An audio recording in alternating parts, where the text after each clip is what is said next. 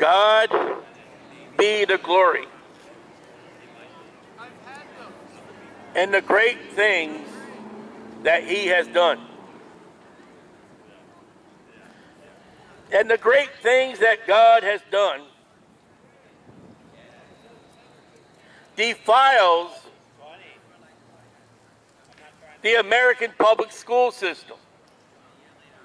You see, the American public school system teaches that you came from palm scum. You came from fish. That's not the biblical count. We came and we created by God. Now you can be a monkey's uncle of evolution. Or you can be a child of God through Jesus Christ, but things were created by God, by the Creator. If Charlie Darwin never put faith and trust in Jesus, Charlie Darwin's in hell today regretting what he taught and what his name is affixed to. You see, the biblical truth is it didn't start with a big bang, it goes out in a big bang. Your Mother Earth one day is going to burn up with fervent heat and flames with the heavens.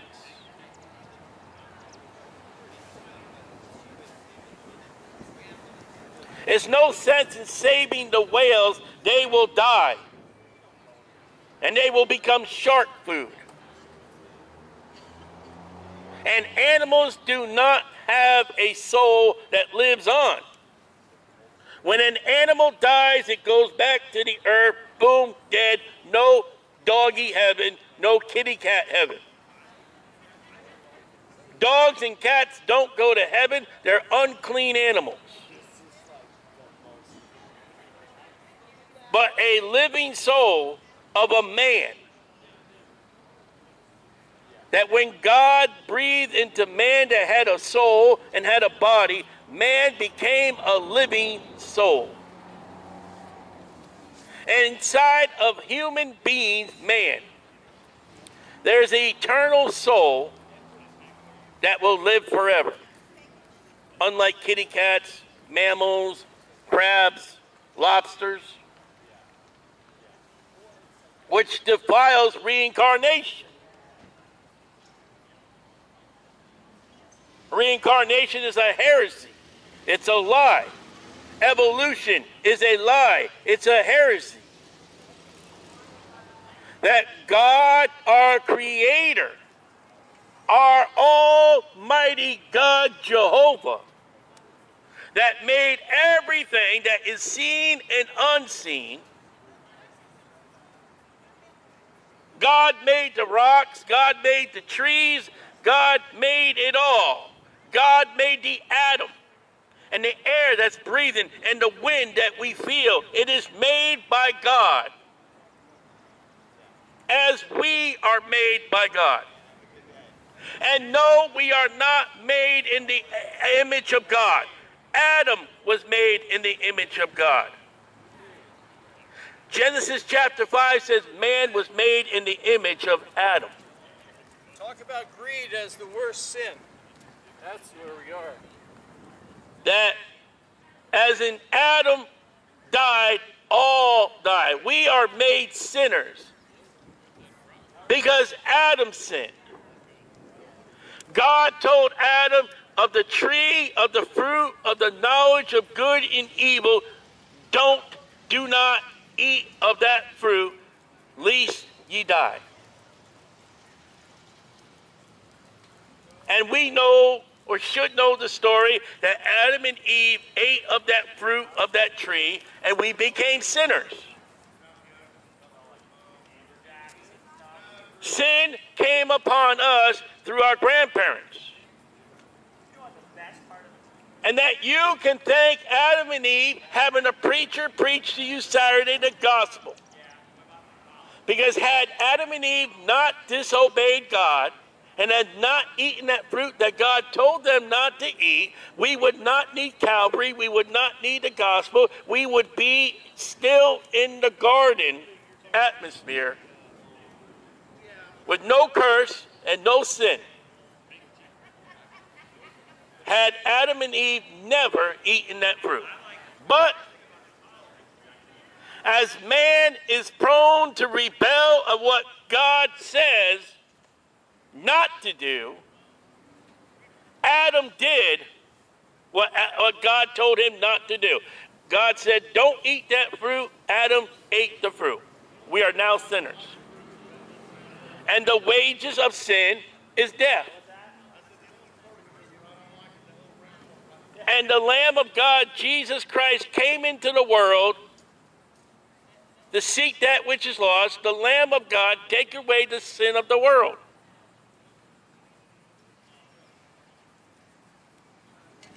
Because Adam sinned. And here we are in the great progress of man, the great scientific man, the great ape. And we preach for a man to believe on the Lord Jesus Christ to be saved, something to do, and you won't do. Now, God told Adam, don't eat the fruit. Adam ate the fruit, rebellion. Today, the Bible says to believe on the Lord Jesus Christ, and you will not. It's still rebellion. You are not doing what God has told you to do. 4,000 plus years of man's progress, and you are still rebelling against the Word of God. Congratulations. And what you get for rebelling against God is you are marked as a sinner. And the wages of sin is death. And if you die in your sin, you'll go to hell. That's your progress. That's the great ape that you are. Though evolution is a lie. And what you're seeing played out today, the violence, is the American public school system teaching your children how to shoot each other, how to kill each other. That's the survival of the fittest. What is being played out in America today is what you've been teaching in America today. You took God out of the schools, you took the Bible out of schools, you won't discipline your children. You won't chasten your children. You put in Dr. Spock rather than Jesus Christ, and you are now reaping in this country what you have been sowing ungodly school education. And your only hope is the blessed hope of Jesus Christ, to believe on the Lord Jesus Christ to be saved. And let me tell you about the current conditions of the world. It's only going to get worse. I'm telling you right now, after the rapture, you got seven years of tribulation, Jacob's trouble. You have a worldwide ruler. For three and a half years, it's going to be kind of handy dandy, nice and peaceful. The last three and a half years, will be your hell on earth by Satan himself, the Antichrist. And the tribulation period, Jacob's trouble, has nothing to do with you Gentiles. the law will be back. Law and faith, and you still have to believe in Jesus. But you got to do the law too. Once the church is gone. You got to fulfill that law and you got to go over to the temple in Jerusalem. I know it's not there, it will be there. Why not just believe on the Lord Jesus Christ right now, today? Put your faith and trust in Jesus.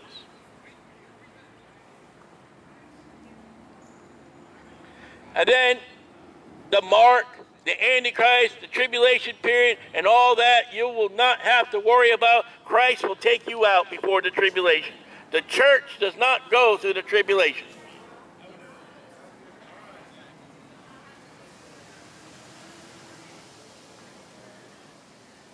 You can be saved.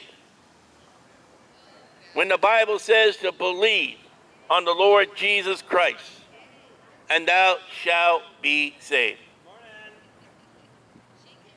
Salvation is wrought in Jesus Christ alone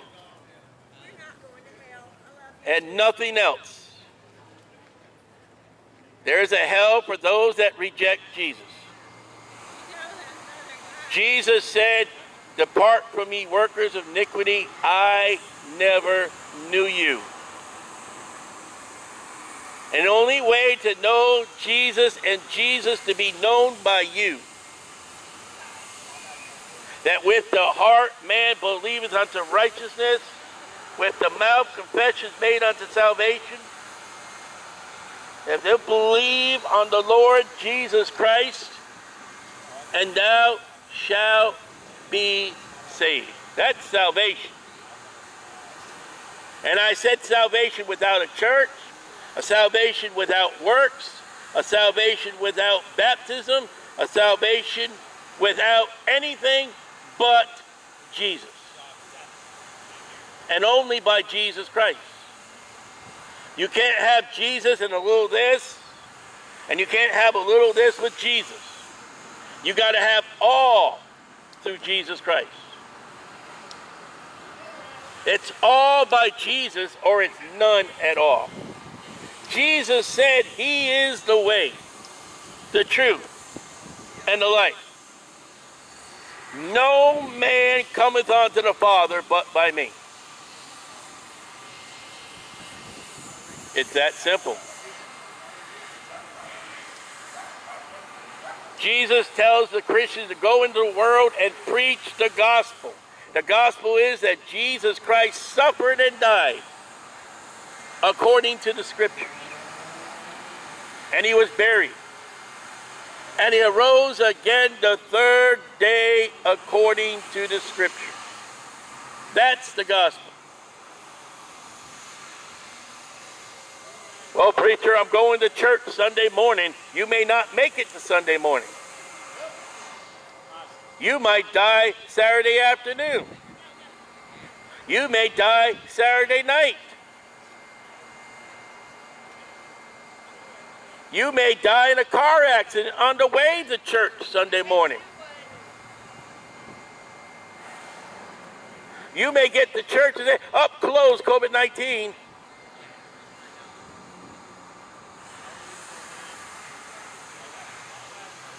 How about, again, over and over, believe on the Lord Jesus Christ, and thou shalt be saved. That's how to be saved. That's God's plan.